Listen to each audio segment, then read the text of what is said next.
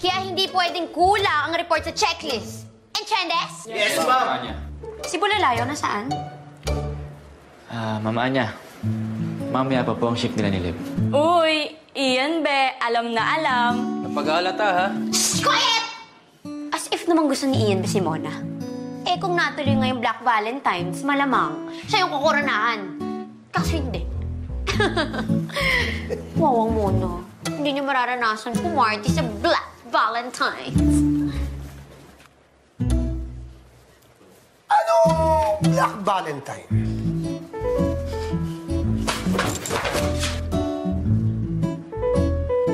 Mamaya pa po yung shift ni Mona. Kung gusto niyo po, paakitin ko lang po siya sa unit niyo. Ah, no need. Hindi mo na uuwi ng penthouse.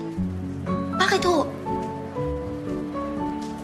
I mean, iabot ko ito. Thank you. Okay. Ah, tungkol doon sa Black Valentine's party niyo, ituloy niyo na. Balatok na kay Mona dahil nanalo yung manok namin. Sagot ko na yung party niyo. Ho? Pati ho, 5K ang napapremyo? Kung gusto mo, gawin pang 7K ako ni Sir yun eh. Lahat ng kailangan niyo sa party. Bilang pasasalamat sa inyo lahat, na i-accommodate niyo rin habang tinitraining yung manok. Siguradong matutuwa mga staff, Sir Martin. Thank you po. Sir, attend po tayo doon. Marami pong foods doon. Yes, sir. It would mean a lot to us kung a-attend po kayo. Sige, darating kami. Pagsabi kay Miss Bulalayo, darating kami. Sa dating kami.